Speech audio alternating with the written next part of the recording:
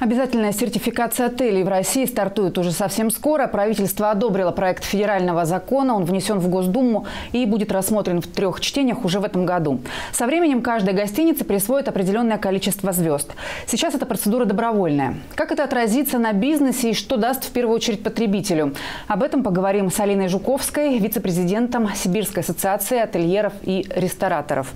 Алина, ну вот э, по официальной информации в Новосибирске сейчас менее 5% гостиниц гостиниц имеют сертификацию. Почему так мало? Отелям это невыгодно? Потому что сроки еще не поджимают, насколько мне известно. А, чтение, в общем, принятие закона переносилось неоднократно. Угу. С 2015 года на 16 17 и теперь уже дедлайн у нас 2020 год. Поэтому, конечно, ательеры не спешат, ждут, когда сформируется рынок, ждут, когда сформируется экспертное сообщество, чтобы выбрать а, конкурентоспособную услугу по адекватной цене. Но, в принципе, ведь, наверное, отель должен быть заинтересован в том, чтобы у него там ну, где-то над входом 5 звезд красовалось, чтобы потребителя как-то привлечь. Или, или нет? Или нет такой прямой зависимости? Условно сейчас каждый отель понимает, к какой звезде он относится, потому что масштабных реноваций и изменений, как правило, ательеры не производят. Хотя для многих э, санаториев э, Алтайского края это характерная сейчас такая тенденция – но действительно, при строительстве даже собственного отеля мы понимали, какую, какие звезды, на какие звезды мы имеем право претендовать. Есть э, список, он всегда был, европейская классификация звездности.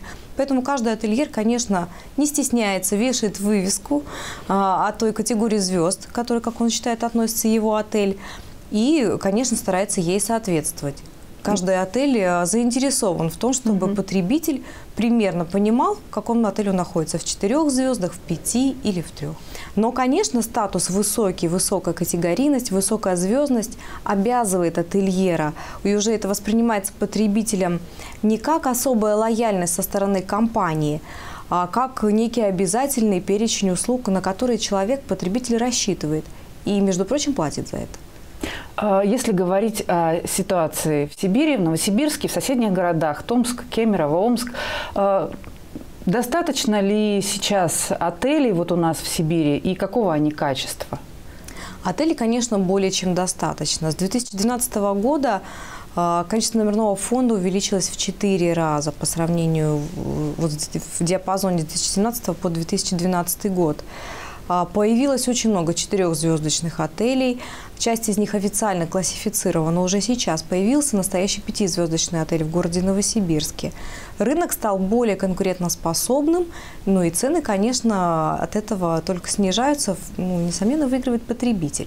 Насколько я знаю, да, 5 звезд, например, в Европе и 5, 5 звезд где-то в Турции, это, они могут отличаться существенно. Да? Вот что мы получим в итоге в России? Классификация действительно разная. Сейчас мы имеем в мире порядка 84 систем разнообразных разных классификаций по звездности, да, действительно.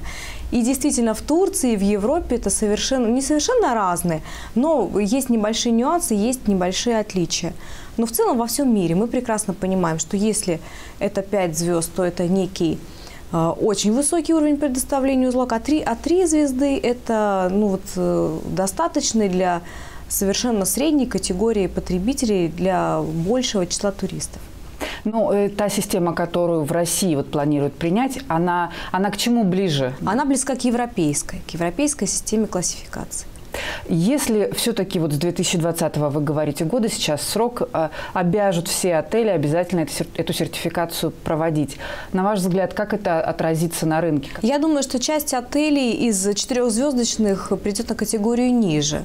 Равно как э, может быть, некоторые отели приложат усилия и получат категорию выше, чем они являются сейчас. Все будет зависеть от намерений и от бюджета конкретной взятой компании, от того сегмента, который она планирует завоевать на этом рынке. А, сейчас э, ну, вот в мире достаточно распространен заказ частных апартаментов через всевозможные интернет-сервисы. В Сибири это тоже распространено? Каким-то образом это отражается на отельном бизнесе? Чувствуете ли вы конкуренцию какую-то с этой точки зрения? Ну, здесь, конечно, стоит различать бизнес путешественников и э, путешествия частные.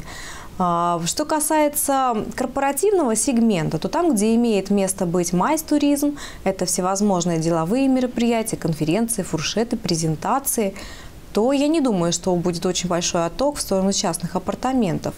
Ну а что касается частных путешествий, то здесь э, я бы отметила тенденцию все-таки увеличения пользования именно интернет-услугами, независимо это какие-то системы бронирования отелей или это система бронирования частного жилья, то здесь уже потребитель выбирает на свое усмотрение, своих соображений безопасности, комфорта, которые присущи лично ему.